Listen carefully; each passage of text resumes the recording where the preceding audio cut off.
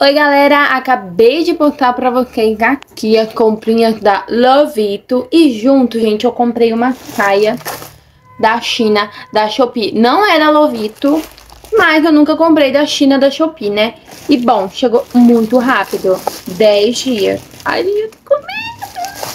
Eu vou deixar a foto, gente, eu acabei não deixando da Lovito Porque tomar banho e trabalhar, então eu botei assim, tudo correndo de última hora, né? Ai, gente, olha, é mais rosa do que eu esperava, né? Gente, eu tenho medo de uma barata que não, não tem base, não.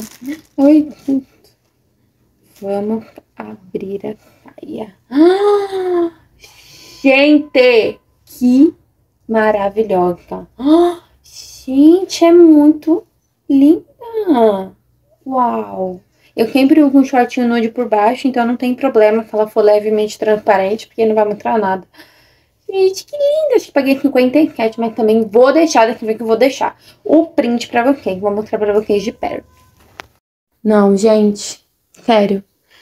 Olha que caia maravilhosa. Em 10 dias já chegou pra mim, que eu moro aqui no interior de São Paulo. E olha isso, gente. Ela é de tule, sempre quis ter uma saia de tule. Ela é um pouco mais rosada do que na foto. Tem as perolazinhas também rosa. Olha que lindo. Aí ela tem um forrinho. Aqui. Olha, gente, acho que... Olha, duas camadas de tule. Maravilhosa, um elástico. Aqui em cima. Eu vou provar e aí eu mostro pra vocês, tá? Gente, quer saber? Eu vou montar um look no domingo aqui, tá? E aí eu mostro.